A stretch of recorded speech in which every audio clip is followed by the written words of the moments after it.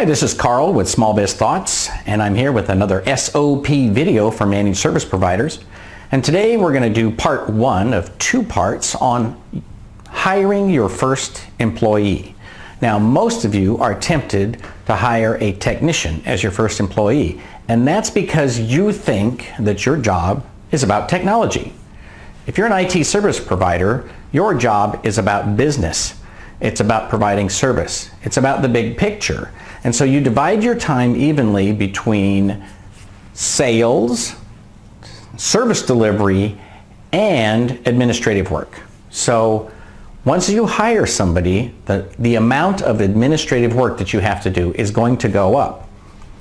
So I recommend universally that your first hire should not be a technician. It should be an administrative person. I've written a blog post, you can go find it, called The $200 Miracle. And basically, it's about hiring somebody for 20 hours a week at $10 an hour, that's $200. You would be amazed at how much work disappears when you get a good administrative assistant. They can do the billing, the invoicing, they can take payments, they can make deposits in the bank, they can send out newsletters, they can do all kinds of stuff. And even if you have to pay them 20 hours a week, they will take away at least 10, if not 20 of your hours, and that leaves you more time to do other things. In particular, sales and service delivery.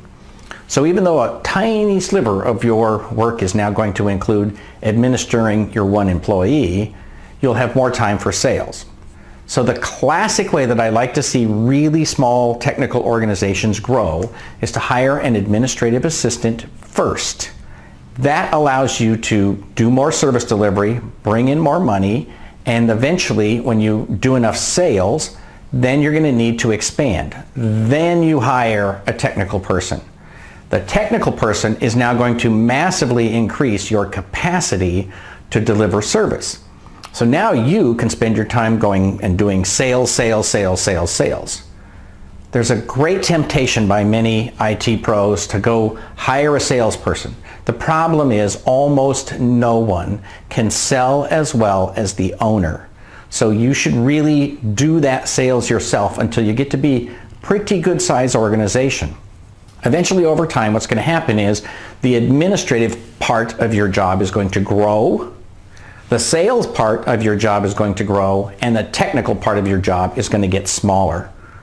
So eventually, once you have a really good admin, you're doing the sales and a little bit of technical work, you're sort of the, the ultimate uh, um, person for technical support, and then you've got one person who's a full-time technician, I believe with modern tools like Max or other RMM tools, you should be able to support 500 to 1,000 desktops with just those three people. Now, that means that you need to put administrative work to the admin. You need to make sure that you know what's technical and what's not. Don't have your technical person doing things like creating accounts at Microsoft because that's an administrative task. It's not a technical task. So you have to sort of figure out how you're going to make it work. But that's what I recommend for really small companies that need to grow. Hire the admin first, then the tech, and you, the owner, do the sales. Next time we're going to talk about some very practical considerations of your first hire and your second hire and how the math works around some of that. In the meantime, I wish you all the best in your managed service business.